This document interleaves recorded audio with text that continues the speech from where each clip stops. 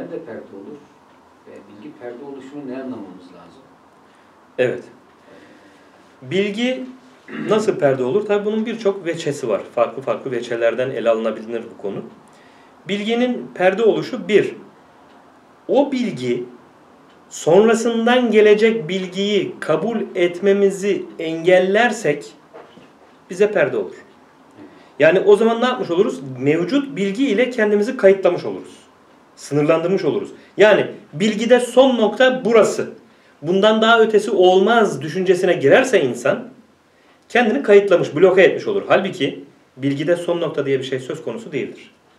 Her bilenin üzerinde bir bilen vardır buyuruyor Allahu Teala Kur'an-ı Kerim'de. Dolayısıyla bilgide sürekli bir artış var. Sadece dünya hayatında değil, ahiret hayatında, sonsuz ahiret hayatında da bilgide sürekli bir artış var. Bilgide bir sınırlılık söz konusu değil. Dolayısıyla biz bir şey hakkındaki bilgide bunu bilmek ancak bu kadardır. Bunun ötesinde daha bunun bilinmez bir tarafı kalmamıştır. Bu bilgi e, bunu her şeyle ortaya koymuştur iddiasına girersek o zaman kendimizi bilgiyle bloke etmiş oluruz. Mevcut bilgiyle. Ve o bildiğimiz şeyin daha derinlemesine bilmemize yarayacak yeni bilgi akışını kesmiş oluruz. Çünkü kabul etmiyoruz. Başka bilgi olamaz diyoruz yani. Bu ancak budur.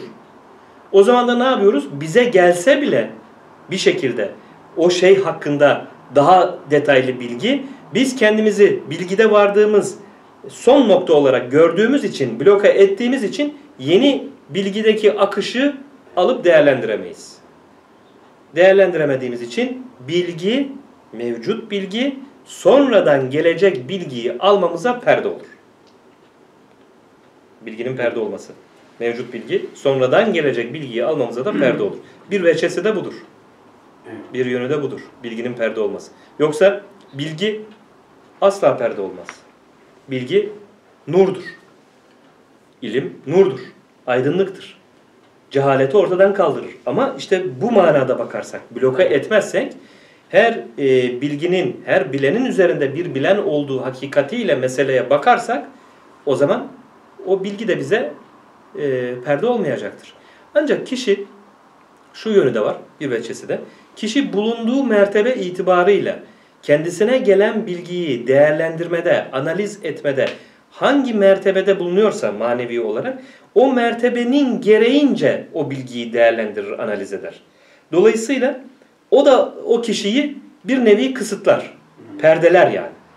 Çünkü bulunduğu mertebe e, o bilginin hakkıyla, tam hakkıyla idrak edilmesine engeldir. Henüz daha o idrakta değildir yani. O zaman da işte gene bilgi perde olur. Yani aslında bulunduğu mertebe cihetiyle perde olur. Mertebesi o bilgiyi almasını engellemiş oluyor. Tabi o bilginin derinliğine ulaşmaya engel oluyor bulunduğu mertebe. Ama mertebesi arttıkça arttıkça o perdeler de kalkmış olacak.